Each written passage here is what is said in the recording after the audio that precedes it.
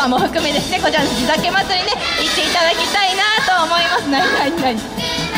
お姉さん？僕？違う顔？お姉さん？顔？パンパン。うるさいわ。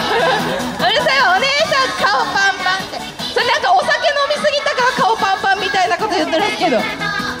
そうでしょって。そうでしょって。違う違う違う違う。そんなことない。お酒にそんな効果はございません。さあお姉さん顔パンパンって言ってるけどねくまモンこれ顔パンパンのネタってくまモンのネタじゃないんですよ皆さん。自分のように使ってますけど。そうそうそうそう。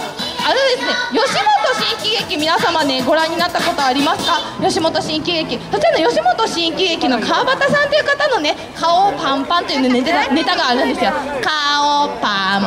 パンっていうね、まあ、くまモンみたいにですねちょっとねまるっとしたお顔のねとてもでもすっごく優しい方なんですけれどもその方が座長でですねくまモンもなんと吉本新喜劇に出演させていただくことになりました。さあありがとうございます。こちらがですね1月の6日から8日ですねあの年明けてすぐにはなるんですけれどもタイトル「くまモンからのお年玉」ということでですねくまモンからお年玉がもらえるかどうかはさておきですね。さんにくまモンがですねなんと出演させていただけることになりました。ね鼻ほじほじしてる場合じゃないのよ。